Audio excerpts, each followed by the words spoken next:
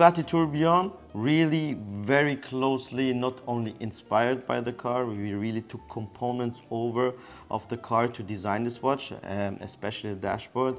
As you might know, the car is going to be a, going to have a mechanical dashboard, which is made in uh, Switzerland, made with our partners Concepto together, which is also building our movement.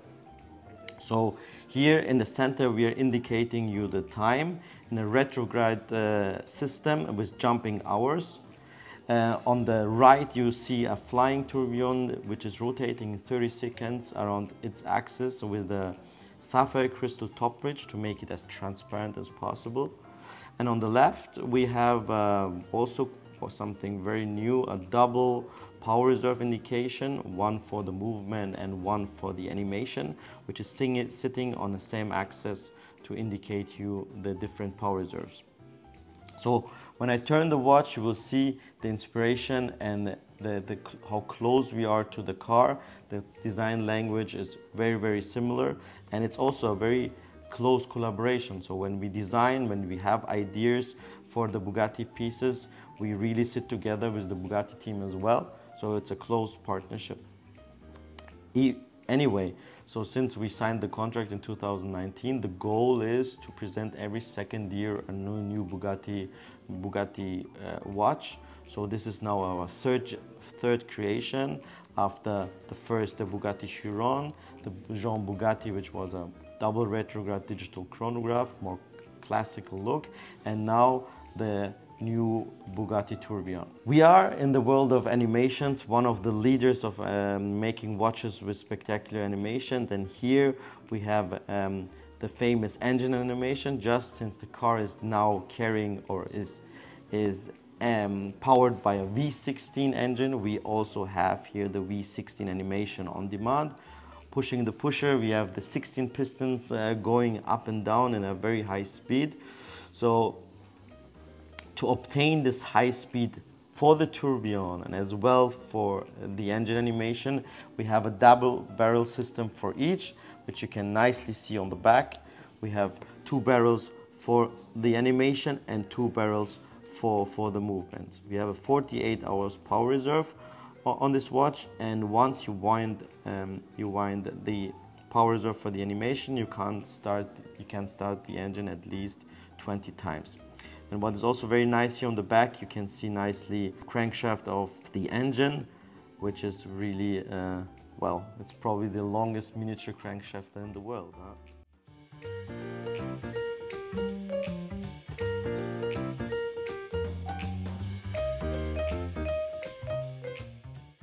So the tendency is to reduce the size, make the watches more wearable, but still having the famous Jacob & Co. twist. And here the efforts were really to, to ha have a nice um, way sitting on the wrist, has a very nice um, feeling on the wrist, the weight, and well, it's still a massive piece. It's a Bugatti piece. It's like the Bugatti car, you will always recognize it on the streets. You need to put a lot of efforts to reduce the size. Uh, one millimeter in watchmaking is already a lot huh?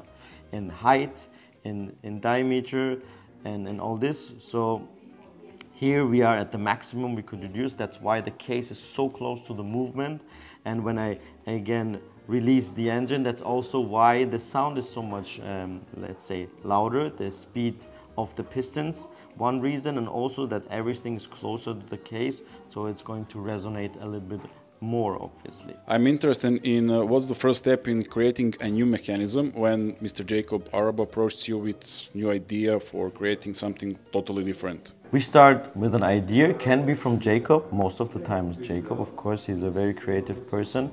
But we have a creative team, we have a development team, everybody can uh, participate and everybody can um, share his ideas. So we have several things to, to think of obviously is the movement. Uh, if the idea is about a new, let's say, complication or a new animation. So we sit together with our movement suppliers, these are our very close partners, and we discuss how we can, um, let's say, built this movement. And you see very important you see this nicely on the Bugatti Chiron on the Bugatti Tourbillon is especially the design. So the this is all a symbiosis together movement and, and case design. And since our designers we have very talented designers here in Geneva and we have also designers in New York. We have uh, this big team. So um, this is all together movement one side um, but the case design, the, the, the, decorations also need to be designed together with the movement because often enough it's, it's one, really one thing.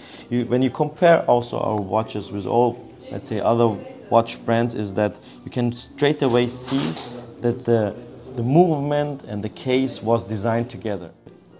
Well, what's the longest uh, process in making of mechanism? Development, uh, research, making? Well, I can take the example of the Astronomia, for example. The first Astronomia took more than three years because it was it it, it was a pioneering job. Yeah? So it, the idea, probably making a, a watch with planets turning, um, have been already thought of but to execute it in the way and execute it that everything is right three dimensional, rotating and floating, yeah, so obviously there was no experience on that. There was no, let's say, examples. So everything needed to be designed and, and tried out from scratch.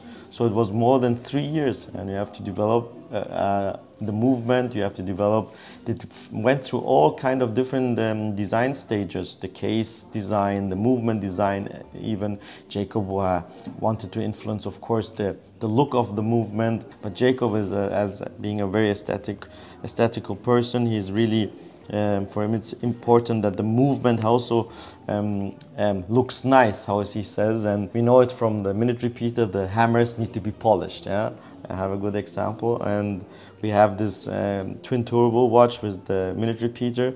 And Jacob said, I want this bridge also polished. And we said, well, usually you don't polish on the minute repeater the bridges, you polish the hammers. And he's very simply saying, why? Why are you not doing that? He says, it's, it's a tradition. I said, well, I like my watch that the bridge is polished. Well, now that this makes the job uh, twice hard because the, the bridge is not made of steel. Usually it's brass or it's gold and now start to polish that. So we had to change the material of the bridge to be able to polish it as the same quality this famous black mirror polishing. So when you look at the movement and now we are agreeing it looks fantastic yeah? And that's how Jacob is this one, the new Bugatti Tourbillon, is the third generation of watches you made with Bugatti. But uh, on these two, we can see some similarities. Yes, yes. Uh, in Bugatti Chiron is JCAM 36 and this is 55. Right. Uh, both of them have animation of uh, let's say engine mm -hmm. W16 and V16. Where is the similarities and what's the big biggest difference between those two? So by appearance, it looks like that there is uh, there are similarities, but it's like you take a car with four wheels, you compare a Porsche from today and a Porsche for 10 years later. The similarity is only that we have an engine animation, but it's a completely separate um, development. These are two separate developed movements and cases. So here uh, on the Chiron, uh, which was the first um, watch with an engine animation, it was about to present the W16 engine combined with the beautiful 30 degrees inclined uh, flying tourbillon and the whole movement as you can nicely see on the corners are, is suspended. So here we took ideas from the automotive world and incorporated it into this watch.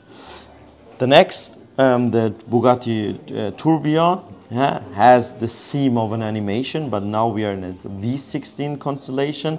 And here the focus is mainly also on the time indication, which since it took over the dashboard of the, the watch. So we have a retrograde time indication. We have a flying tourbillon, which is rotating twice the speed in 30 seconds. And we took care also of the of the power reserve. So we have a power reserve for the movement and a power reserve for the animation so that the owner knows how many times or how often, how much power he still has to use the movement and the animation. Chiron with the W16 engine animation. Mm-hmm. In a sapphire crystal block, we have the titanium pistons going up and down. At the same time, we have two turbochargers turning on the side. And we were talking about the shock absorbers in the corner. The movement is really floating. And the Bugatti Tourbillon on demand. We have the V16, 16 pistons in a V shape are going up and down a lot faster as you can see and hear.